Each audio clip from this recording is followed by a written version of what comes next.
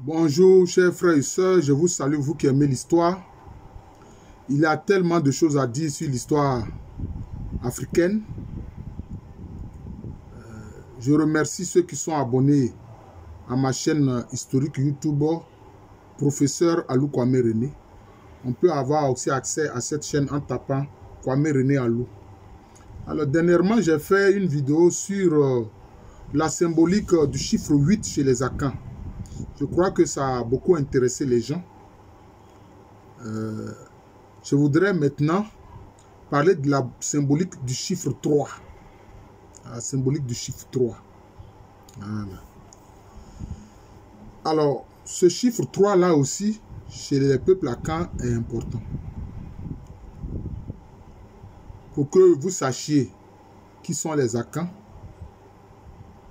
je vous dis que le peuple Akan le plus connu, c'est le peuple Ashanti. Beaucoup de gens dans le monde ont entendu parler des Ashanti. Voilà. Donc, ce sont les peuples qui ont la même culture, les mêmes traditions, hein, les mêmes ancêtres que les Ashanti. C'est tout cela qu'on appelle les Akans. Voilà. Alors, chez ces peuples-là, le chiffre 3, curieusement, a une grande importance. Et je vais donner des exemples pour le montrer. Dans l'ordre de naissance, quand il y a trois enfants, trois enfants d'une même mère, quand ils sont de même sexe, l'enfant est appelé Ngissa.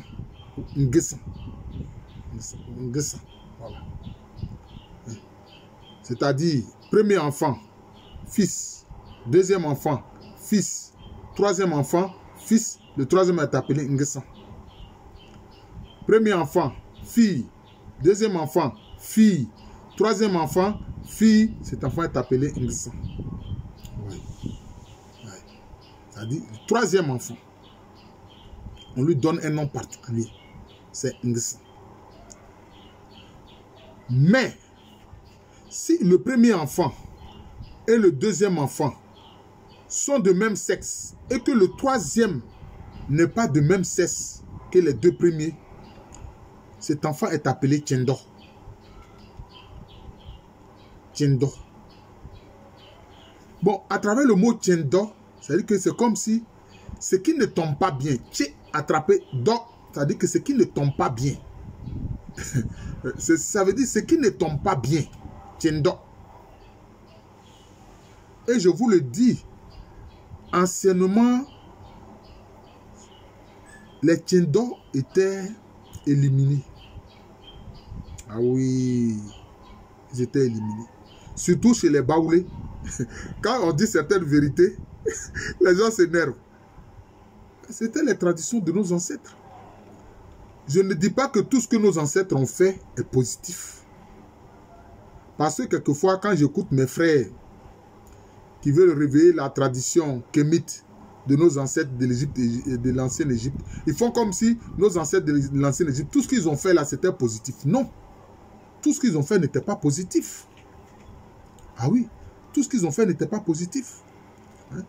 Ils ont introduit dans leur harem de nombreuses femmes sémites et de nombreuses femmes caucasiennes et les enfants de celles-là ben, ont entraîné euh, l'Égypte antique dans la chute. Voilà. C'est cela. Et sur ce point, je suis tout à fait d'accord avec le professeur, Kovi euh, euh, Gomez Rekmire. Je suis tout à fait d'accord avec lui. Vous voyez. Et donc, ce troisième enfant-là, qui n'est pas de même sexe que ses deux premiers frères ou ses deux premières sœurs, le Tindo était systématiquement éliminé. Voilà. D'ailleurs, chez les Baoulés, l'élimination du Tindo, c'est fait pendant longtemps. Alors que chez d'autres groupes ils ont trouvé le moyen de faire un rituel pour récupérer le Tindo. Ils ont trouvé le moyen de faire un rituel pour récupérer le Tindo. Pourquoi est-ce qu'ils font ça? C'est comme s'il y a une connaissance. Bon, certains parlent de numérologie ou bien d'arithmologie. Bon, c'est bon. les termes utilisés. Mais nos ancêtres Akans, Et nos ancêtres africains ne faisaient pas la magie, non. Eux, pour eux, c'est lié à la sacralité. C'est lié à la sacralité. Voilà. Bon. En général, bon, les groupes ésotériques, euh, euh, européens parlent de numérologie. Mais j'ai vu, euh, j'ai lu des ouvrages de, du, sage Ampateba où il parle de arithmologie. Lui, c'est le thème qu'il a utilisé, arithmologie. Donc, tout se passe comme si nos ancêtres Akan voulaient que si les deux premiers enfants sont de sexe masculin, ils veulent que le troisième aussi soit de sexe masculin. Si les deux premiers enfants sont de sexe féminin, ils veulent que le troisième aussi soit de sexe féminin. Comme ça, c'est c'est parfait pour eux. Parce qu'ils estiment que le Tiendo, celui qui a un sexe différent de ses deux frères ou bien de ses deux sœurs, celui-là a une âme dangereuse. Voilà, a une âme dangereuse. La question de l'âme dangereuse est un principe qu'on trouve chez, beaucoup de peuples d'Afrique, hein. presque tous les peuples d'Afrique noire, le principe de l'âme dangereuse existe. Ils estiment qu'il y a des gens qui ont une âme dangereuse. Les Akans estiment que le Tindo a une âme dangereuse. Par exemple, chez les peuples mandins ou mandés, hein, ce qu'on appelle les Nyamakala, c'est-à-dire ceux qui font, qui font partie des castes. Ils s'en méfient parce qu'ils trouvent que ceux-là, ils ont une âme dangereuse, les Nyamakala.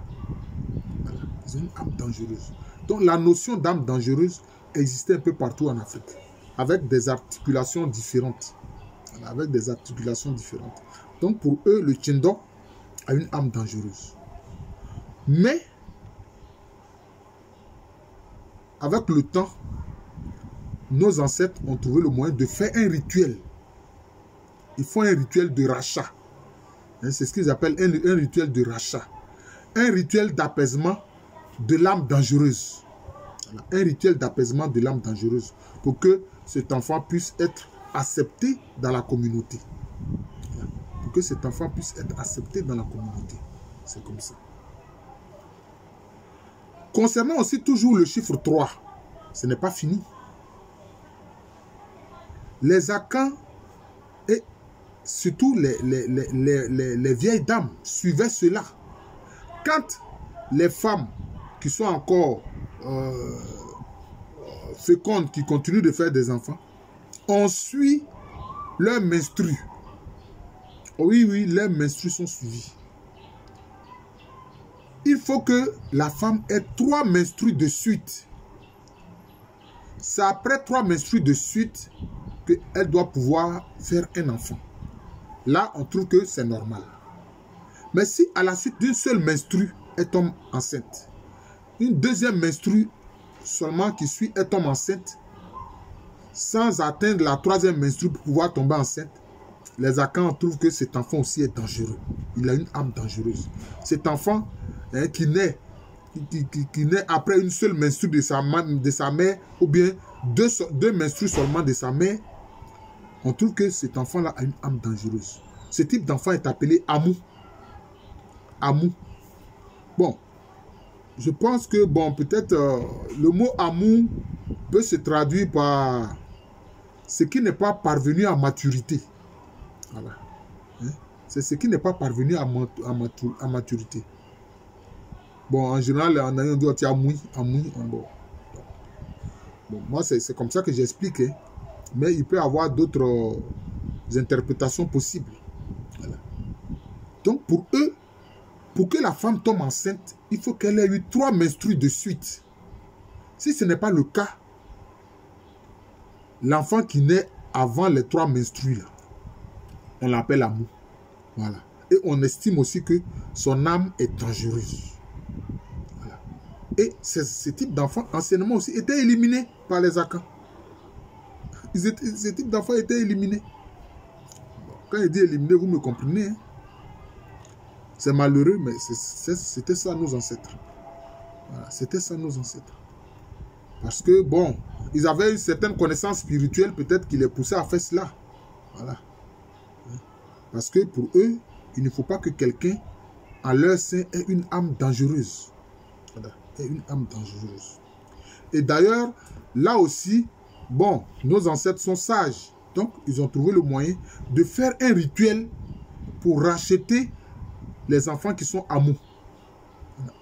Racheter un rituel pour racheter les enfants qui sont amours. Par exemple, en pays Fanti, bon, les Fanti, ce sont ceux qui sont euh, au Ghana actuel, dans la région qu'ils appellent eux-mêmes Central Region. Alors que cette, ce Central Region n'est pas au centre, hein, non. Physiquement, ce n'est pas au centre, c'est sur la côte. C'est sur la côte Fanti. C'est le pays Fanti, c'est là que se trouve le Central Region.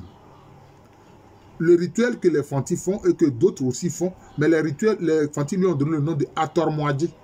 Ator, racheter, Amou, Dje, prendre. Cela veut dire quoi? Racheter l'amour pour le prendre. On fait un rachat hein, de l'enfant qui est amour pour le garder dans la communauté. Voilà, donc c'est ça. Les fantis appellent ce rituel Atormoadji. Voilà. Donc, c'est cela. Donc, on fait un rituel de rachat. Voilà, de l'enfant qui est amour pour ne pas qu'il soit tué. Et donc, à travers cette coutume dont je viens de vous parler, vous voyez l'importance du chiffre 3. D'ailleurs, chez les Nzema, ils disent Dia Odinsa. C'est-à-dire que si un homme, euh, comment je veux dire, Odia, c'est-à-dire que quand un homme s'exprime, c'est trois fois. Quand un homme s'exprime, c'est trois fois. Mais par contre, ils disent que Yale Dia Odina. Quand une femme s'exprime, c'est quatre fois. Vous voyez. Là encore le chiffre 3. Bon, mais le chiffre 4, là, donc pour eux, ils estiment que le chiffre 3, ça concerne euh, la personne de sexe masculin, et puis le chiffre 4, ça concerne la personne de sexe féminin. ce sont les Nzema qui disent ça. Les Nzema qui sont dans la commune de Grand Bassam, au sud-est de la Côte d'Ivoire et au sud-ouest du, Ghana. Donc, je vous remercie. Dieu merci. La sagesse a habité nos, nos, nos ancêtres pour qu'ils fassent des, rituels de rachat de ces enfants dont ils considéraient que les âmes étaient dangereuses. Je vous remercie. Je suis le professeur Alou Kwame René, professeur titulaire d'histoire à l'université Félix Faudouban, université qui est à Abidjan, dans le quartier de Cocody. C'est en Côte d'Ivoire, un pays situé en Afrique de l'Ouest. Donc, vous voyez que, bon, j'ai dit toutes ces, informations parce que, bon, euh, j'ai des auditeurs un peu partout. Voilà. J'ai des auditeurs un peu partout. Quelquefois même, euh, je me rends compte que ceux qui sont de la diaspora, et puis nos frères qui sont aux États-Unis, au Canada, en Nouvelle-Calédonie, notamment les Noirs, ils sont contents de connaître justement ces coutumes et traditions euh, de leurs ancêtres africains. Voilà. C'est pour ça que je donne toutes ces informations-là. Je vous remercie. Je crois que j'en suis maintenant à 4200 abonnés. 4200 abonnés. Voilà. Et moi, souvent, j'exhorte mes, mes, collègues hein, qui font l'histoire africaine aussi à, créer des chaînes YouTube pour, pour, communiquer ce qu'ils savent là aux, frères et sœurs. Parce que l'histoire est une, est une discipline importante. Surtout que, à cause du racisme vis-à-vis de l'homme noir, le racisme anti-noir, bon, beaucoup de, l'histoire, beaucoup d'aspects qui concernent l'histoire africaine est tronqué. Voilà, c'est tronqué, totalement tronqué.